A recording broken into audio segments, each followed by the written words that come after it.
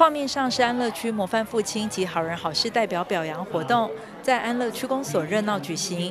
在进行颁奖表扬前，安乐区的里长们献花给谢国良市长跟安乐区长简义哲，共同祝贺所有爸爸们父亲节快乐。父亲节快乐！最辛苦的爸爸们，您是最棒、最这个我们基隆市所有的楷模，所以今天能够用这样子的一个。啊，环境啊，来这个跟大家恭贺，实在是我们的荣幸。所以在这边，我们还是祝贺所有的爸爸们都身体健康，因为啊，你的身体的状况良好健康是家里最重要的一个幸福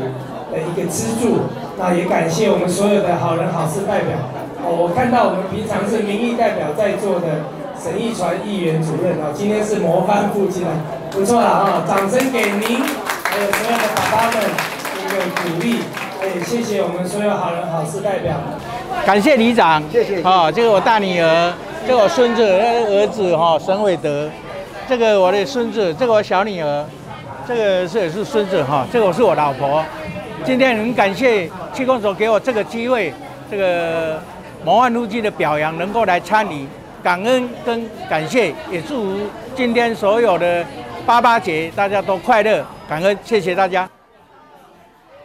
这个模范父亲节好人好事代表表扬典礼上，有许多贵宾也到场祝贺，包括国民党立委参选人林佩祥与民进党立委参选人郑文婷，安乐区的市议员郑凯琳、洪森勇、于三发、秦真、吴华嘉等，以及各里的里长们都齐聚一堂，为活动增添光彩。